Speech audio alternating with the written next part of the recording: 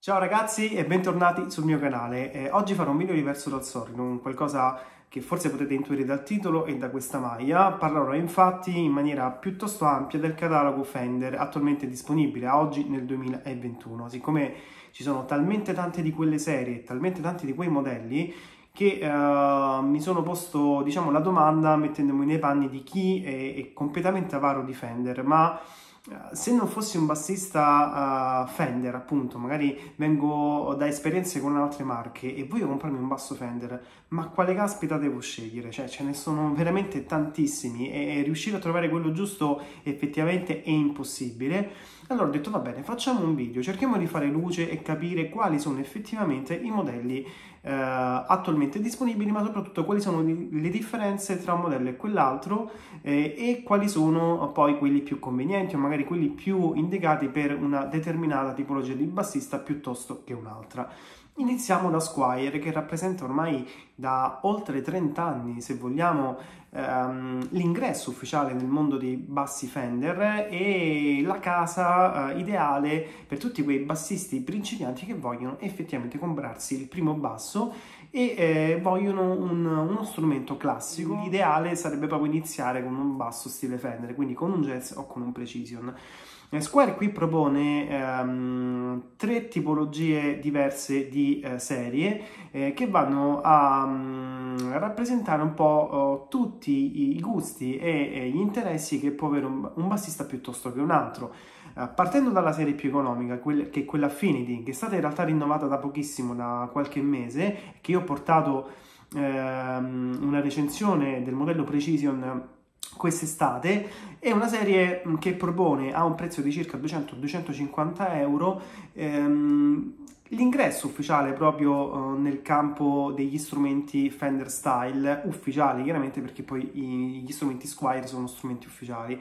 Abbiamo un basso che è decisamente migliorato rispetto alla serie precedente, un classico Precision con configurazione però PJ, quindi più versatile, abbiamo split coil più jazz bass, più lo split coil e più il single coil del jazz bass, quindi uno strumento che ha una gamma sonora sicuramente maggiore rispetto a un classico Precision uh, tradizionale e poi abbiamo il classico jazz bass. Sono strumenti realizzati, devo dire, molto molto bene, eh, con uh, lo stesso hardware poi utilizzato con tutte le altre serie, un hardware che non è proprio il massimo, ma comunque fa il suo, è abbastanza efficace, mantiene abbastanza bene l'intonazione. E, ehm, anche se peccano un po' diciamo nella, nel, nella resa sonora nei pick up perché sono pick up ceramici che hanno un suono molto elevato a livello di volume ma poca definizione, sono piuttosto impastati. Io infatti nella recensione eh, appunto accennavo al fatto che avevo avuto parecchie difficoltà a, a, registrare i vari video che poi ho pubblicato su questo canale proprio perché era effettivamente un basso eh, abbastanza difficile da gestire a livello di volumi.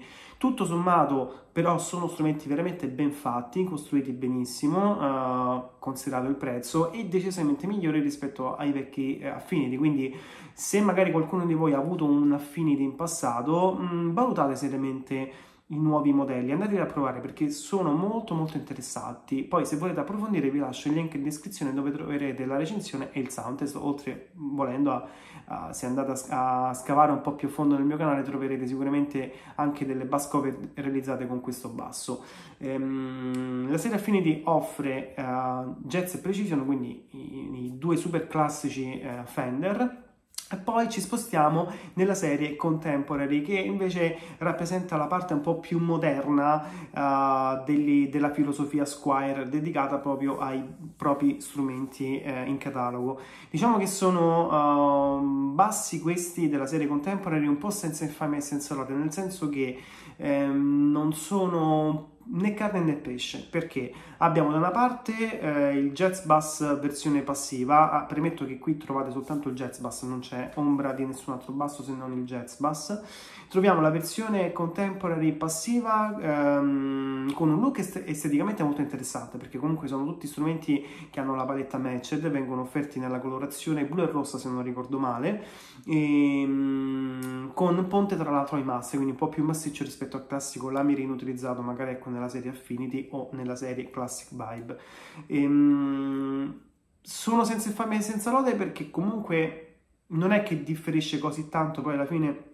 da un Affinity cioè fondamentalmente la stessa cosa, forse sono un po' più accattivanti dal punto di vista estetico, però tutto sommato non andrei a spendere quei 360-370 euro, adesso non mi ricordo esattamente, comunque quella dovrebbe essere più o meno la fascia di prezzo, anzi 330 euro credo che costino, non, sp- non spenderei quei soldi in più rispetto a un Affinity per prendere alla fine lo stesso basso che avete con appunto la serie Affinity. Eh, potrei valutare, ecco, potrei consigliarvi ecco, di eh, valutare l'acquisto invece della serie attiva, della versione attiva dei Contemporary che invece eh, monta di serie pickup soft bar quindi con sonorità sicuramente molto più moderni e molto differenti rispetto al classico jazz bass, ma anche all'elettronica attiva, quindi sono bassi molto più versatili e sono strumenti che effettivamente se um, magari suonate uh, in una cover band e avete bisogno di cambiare spesso il suono perché vi dovete adattare al brano che dovete suonare sono sicuramente molto più consigliati. Anche se vi dico la verità tutto sommato, se dovete comprare un jazz attivo, io non andrei su Fender, almeno in quella fascia di prezzo, ma andrei su Sire, che sicuramente, o Sire come insomma si chiama, uh, andrei sicuramente nell'acquistare un V7 che è molto molto meglio dal punto di vista qualitativo, è fatto decisamente meglio rispetto a uno Squire Contemporary. Infine, chiudiamo questo cerchio dedicato a Squire con la serie Classic Vibe eh, che rappresenta ormai da anni la serie di punta di casa Squire tant'è vero che le Classic Vibe, i Classic Vibe sono um, ormai entrati a tutti gli effetti un po' in quella serie di strumenti leggendari eh, con caratteristiche qualitative talmente alte eh, da addirittura eh, per molti eh, metterli vicino a, mm, a, Fender decisamente più costosi. Eh, devo dire la verità, io ho provato i vecchi classic vibe cinesi, eh, che sono quelli tra l'altro ancora oggi più amati e mm, mi, sono mi sono piaciuti veramente tanto, sono fatti veramente molto bene. Poi in realtà ho comprato di recente un Precision Classic Vibe 70 della serie indonesiana perché da circa due anni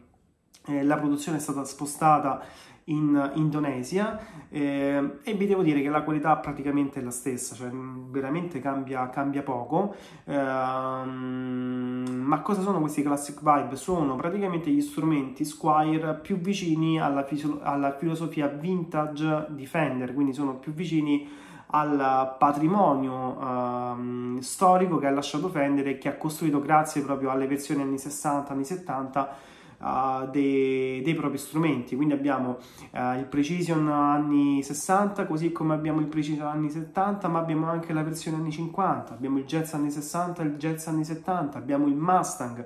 anni 60 abbiamo veramente bassi per tutti i gusti, e, ma soprattutto bassi per chi ama um, diciamo gli strumenti vintage. Eh, ad esempio, a differenza della serie Affinity, qui abbiamo il manico che è lucido anche sul retro, che è veramente molto bello. Eh, quindi uh, ha quella, diciamo, quel, quell'aspetto giallastro tipicamente vintage, come se fosse invecchiato, un po' finto, uh, devo dire la verità, però effettivamente è molto bello da vedere, alla fine anche molto bello da vedere. Sono rifiniti molto bene, anche se io ho notato effettivamente qualche sbavatura qua e là, ma di questo poi ve ne parlerò un po' più nello specifico quando vi porterò uh, la recensione proprio del Precision Classic Vibe 70 che ovviamente arriverà perché l'ho comprato apposta per questo, anche se credo molto probabilmente che me lo terrò. Ehm, sono secondo me i, um, i bassi square con il miglior rapporto qualità-prezzo, quelli che assolutamente consiglierei per l'acquisto. E sono strumenti che vanno bene per un principiante ma vanno bene anche per un bassista navigato anzi eh, proprio i famosi classic vibe made in Cina che sono quelli insomma ripeto uh, che gonno di un'aura quasi leggendaria ormai uh, sono stati più volte usati anche da bassisti professionisti e proprio questa cosa ha alimentato la loro leggenda, il fatto che mh, mm, squire usati da professionisti uh, sem- sembra una cosa impossibile, ma in realtà succede, è successo e secondo me può succedere ancora perché sono strumenti veramente molto molto ben fatti, quindi il mio consiglio se volete comprare uno squire è o prendete un Affinity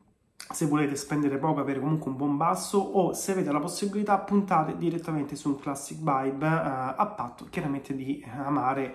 eh, strumenti dalle caratteristiche un po' più vintage. Dopo Squire, finita la carrellata proprio dei modelli Squire, passiamo direttamente a Fender Messico, che si pone a metà, se vogliamo, tra uh, appunto Squire e i Fender americani. Anche qui abbiamo comunque sia una bella scelta di possibilità sui modelli da comprare abbiamo principalmente quattro serie che sono la serie Player, la serie Vintera, la serie Player Plus e la serie Rod Worn. Ci sarebbe anche la serie Artist Signature, ma rappresenta un po' un discorso a sé, un po' come i custom shop, eh, perché sono modelli unici eh, che si ispirano ai bassi utilizzati da bassisti famosi come può essere il basso uh, di Steve Harris o il basso di Flia de Red Hot, quindi comunque ognuno ha delle caratteristiche sue, quindi sarebbe impossibile poi andare a parlare nello specifico. Parliamo dei, dei bassi di serie in questo caso. E, I player rappresentano i nuovi standard messicani, sono stati sostituiti, se non erro, circa tre anni fa, a estate 2018 e um, hanno leggermente migliorato la qualità delle rifiniture, sono un po' più curati, un po' più belli anche da vedere, hanno cambiato il logo, è passato da quello anni 70 a quello spaghetti. Abbiamo nuovi pick-up che sono in Alnico 5, non più ceramici come i vecchi uh, player, sta- eh, come i vecchi standard messicani, ma meccaniche e ponte sono praticamente gli stessi, quindi sono discreti, sono funzionali, anche se non sono proprio il massimo della qualità. Sono strumenti che nella fascia di prezzo intorno ai 650, anche 700 euro, sono molto buoni, ma non li consiglierei più di tanto, nel senso che uh, se volete un Precision con caratteristiche un po' più moderne, rimanendo comunque sempre sul classico, sul basso passivo, uh, un Precision così come un Jazz, eh, ma in realtà nella serie Predator trovate anche il Jaguar che è molto interessante in configurazione PJ se volete effettivamente un basso um, con questo tipo di caratteristiche potrebbe anche andare bene ma personalmente io mi sposterei sulla serie successiva, sulla serie Vintera, che sono praticamente i Classic Vibe made in Messico, quindi um, strumenti con caratteristiche ancora più fedeli in realtà agli strumenti originali degli anni 50, degli anni 60, uh, sono però strumenti con una selezione dei legni migliore rispetto chiaramente ai Classic Vibe e rispetto ai player, ehm, hanno un hardware in dotazione migliore, eh, in generale sono strumenti con un rapporto qualità-prezzo eccezionale, d'altronde sono gli eredi dei vecchi classic, della vecchia serie classic 50, 60, 70 sono che hanno rappresentato per tantissimi anni forse ancora oggi rappresentano i Fender in assoluto con il miglior rapporto qualità-prezzo in generale tra Messico, Japan e USA. Mm, non uh, fatevi ingannare uh, dal fatto che questi strumenti hanno um, la scritta dietro la paletta Made in Messico perché credetemi a livello qualitativo non hanno nulla da invidiare secondo me a strumenti americani. Sono veramente molto molto ben fatti Infine abbiamo um, le due serie un po' più costose che sono la serie Player Plus e la serie Rodworn. Partiamo da quest'ultima. La Rodworn non è nient'altro che la Vintera però in versione relic, quindi abbiamo praticamente strumenti ispirati agli anni 50 e 60, quindi con il manico, ad esempio nel caso del Precision bello ciccio, bello grosso, abbiamo quindi quel suono classico vintage uh, di quell'epoca, ma uh, relic, quindi avete praticamente il basso già ammaccato, già graffiato, per chi è amante di questa moda che io sinceramente non capisco in alcun modo, però se vi piace, in, uh, se vi piace il basso relic e avete 1300 euro a disposizione per un basso messicano ammaccato, buon per voi, insomma, cioè eh, sicuramente eh, ve lo consiglio perché sicuramente poi sono strumenti eccezionali che suonano benissimo, però io personalmente eviterei di spendere 1300 euro per uh, un Rodworn, mm, vi consiglio più un Vintera che è nuovo, però col tempo lo fate diventare voi relic. Infine uh, i Player Plus che sono diciamo usciti veramente da poco, sono usciti credo da un mese, due mesi più o meno, e sono uh, nient'altro che gli eredi della serie Deluxe, quindi la versione moderna di tutti questi bassi che abbiamo parlato, quindi la versione più orientata verso il moderno del classico Precision o Jazz. Ehm, sono bassi attivo-passivi con pick-up noiseless che sono praticamente gli stessi usati nella serie American Ultra anche se sicuramente saranno di qualità uh, leggermente inferiore rispetto alle loro controparti americane. Abbiamo il ponte IMAS, quello bello grande, grosso, um, che c'è anche nella serie American Ultra, quindi praticamente sono degli American Ultra della uh, versione messicana. Sicuramente se volete un basso moderno con caratteristiche uh, versatili, quindi un basso veramente da spendere per um, suonare tanto dal vivo in particolar modo, e eh, non volete spendere i 2000 euro che servono per comprare un American Ultra, sicuramente il Player Plus è la scelta migliore. Finita la carrellata dei bassi messicani, passiamo infine ai bassi Fender americani, che sono uh, praticamente il, top per quanto riguarda la qualità costruttiva, a eccezione chiaramente dei bassi custom shop, e che sono poi alla fine ecco, i bassi un po' più ambiti da uh, chi ama effettiva, effettivamente Fender alla follia, sempre tralasciando i custom shop perché quelli rappresentano un discorso a parte. Poi il, sacro, il santo graal è il custom shop, però chiaramente ogni custom, ogni custom shop appunto è differente dall'altro costano 3.000, 4.000, 5.000 euro, costano tantissimi soldi. Noi qui parleremo soltanto dei bassi che sono nel listino uh, Fender e quelli che vengono prodotti a livello, diciamo, industriale. Partiamo dagli American Performer che sono, diciamo, gli entry level dal punto di vista del prezzo. Sono strumenti di impostazione molto classica, ma sono strumenti eccezionali, costruiti in maniera eccellente. Tra l'altro io ho recensito, perché lo posseggo, un Fender Precision American Performer, vi lascio anche qui il link in descrizione per potervi vedere la recensione. E effettivamente sono bassi ehm, americani al 100%, a differenza magari dei vecchi American Special o Agway One che effettivamente peccavano un po' in alcune caratteristiche che erano un po' riciclate dai bassi messicani. Qui abbiamo proprio uh, meccaniche americane, le stesse che trovate negli altri strumenti uh, di fascia americana, pick up americani pensati appositamente per questa serie, il sistema tono Grace Bucket che permette quando chiudete il tono di non enfatizzare le basse, quindi a, a differenza degli altri strumenti Fender, quando chiudete il tono, che quando chiudete il tono avete comunque un suono molto fangoso, molto bassoso, eccessivamente eh, gonfio, qui invece eh, anche a tono chiuso avete un, un suono eh, molto definito e anche molto più spendibile magari per suonarci dal vivo o per registrare. Ehm, costano 1200-1300 euro, di listino costerebbero 1440 ma alla fine li trovate più o meno 1300 euro. Ehm,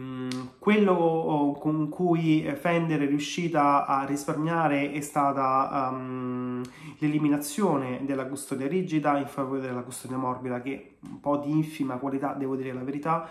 però uh, ha permesso effettivamente di abbattere tantissimo i costi e l'assenza del ponte con le corde passanti. Queste sono le due caratteristiche mh, reali che differenziano gli American Performer rispetto agli American Pro 2, che invece sono uh, diciamo il, um, i bassi di punta di uh, Fender americani, il classico Fender americano ambito da uh, decenni, sono strumenti un po' più rifiniti rispetto agli American Performer con dettagli un po' più premium se vogliamo e soprattutto hanno la custodia rigida e hanno anche um, il, il, ponte con le corde passanti che è una caratteristica che a livello produttivo comunque effettivamente eh, aumenta un bel po' il prezzo prezzo uh, dello strumento. Certo,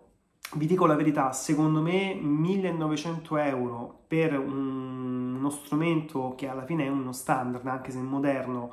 uh, anche se americano, uh, sono un po' tanti, nel senso che um, la serie precedente, la serie American Pro 1, differenziava dal, um, si riferiva diciamo dalla, dalla serie American Performer con una differenza di circa 300 euro, che ci potevano stare perché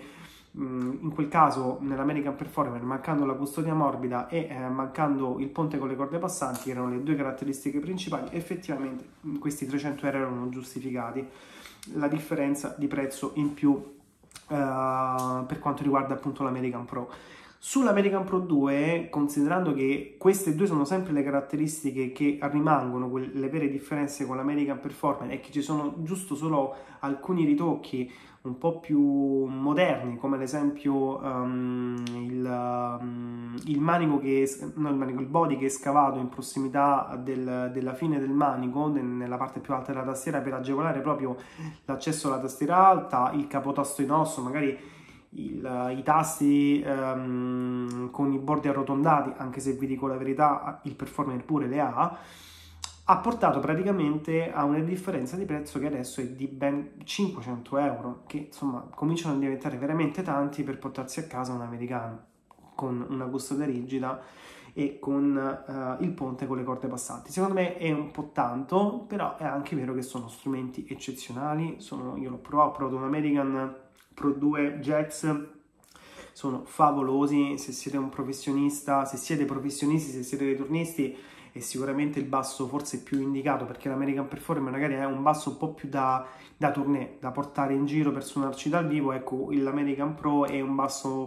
uh, più da studio, proprio dedicato per i professionisti. Però mh, tutto sommato non ha un rapporto qualità-prezzo eccezionale secondo me l'American Pro 2, ehm, costa troppo rispetto a quello che offre. Poi abbiamo gli American Original che sono praticamente l'equivalente dei Classic Vibe Squire o dei Vintera Fender Messico, ma in questo caso abbiamo veramente un basso con caratteristiche vintage piuttosto importanti e con appunto una, una, un'imitazione di quelle caratteristiche più, um, più fedele tra, tra, questi, tra queste tre serie.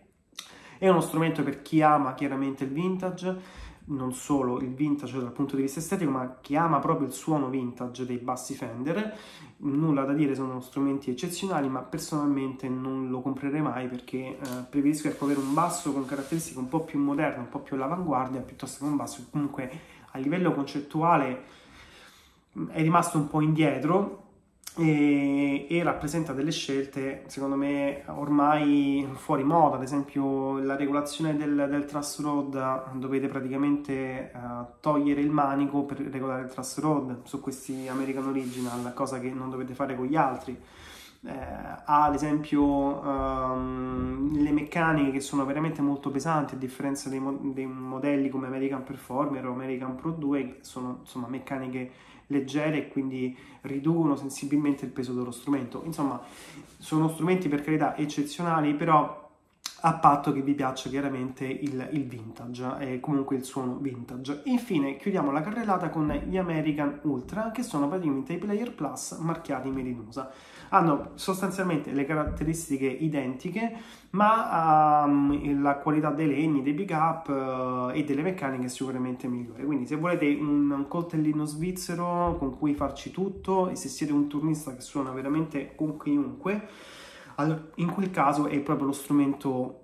ideale per qualsiasi, per qualsiasi bassista a patto di spendere poi quei 2100 euro, 2200 euro che eh, servono per comprarsi